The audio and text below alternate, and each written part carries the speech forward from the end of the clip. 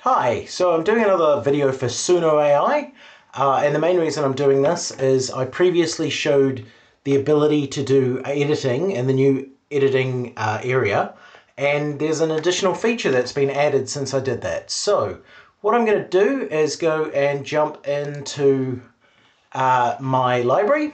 And I've got a song here uh, that you'll see is four minutes long and from my perspective uh, there's a big gap in the middle that I would like to get rid of. And previously you could crop at the uh, beginning or the end, but being able to remove something from the middle was an issue. So what we're going to do is uh, jump into the editing area. And as you can see, we have replace section, extend, crop, and remove and fade out. What we're looking at is remove. So when we do that, you'll see down the bottom, uh, I really love this design where it colors what section of the song you're looking at. If I come along here and you grab the controller, you can design sort of how much you want to remove and you can go click on the bits here and see what it plays. Uh, if I recall correctly, it's around here.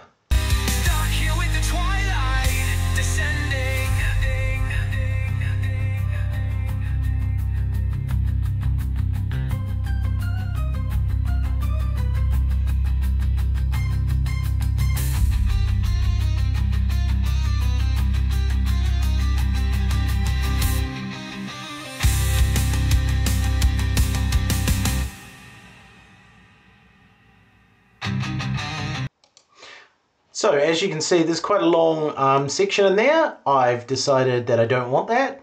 This is probably not going to be exactly how I do the song. Um, as you can see, if you're playing along here, you've got the timer counting up the top, so you do have the ability to go in and put a start and end time in here to get really specific.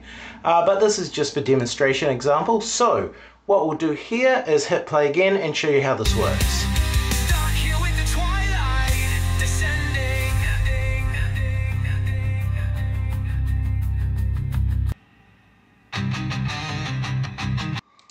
So you'll see that actually jumps that part of the song. And uh, obviously what you want to do is try and line it up so you get the sound right.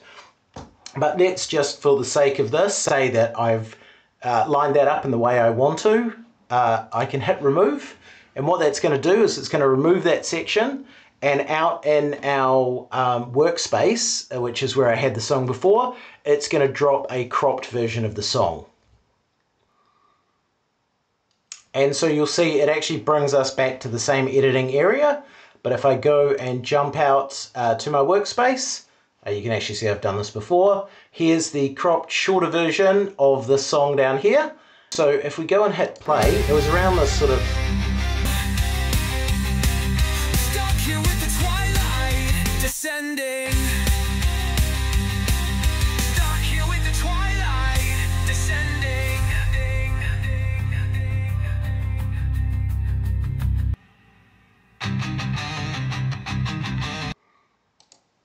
So you can see that we've got that bit there that's chopped out. Now what I've previously done uh, when I've been working with songs and there's been a bit of error in there is I've often gone in and remastered and I have found there's a little bit of an issue with this so let's see if we can find that. So we're looking for around the uh, 2 minute 43, we'll start a bit earlier than that.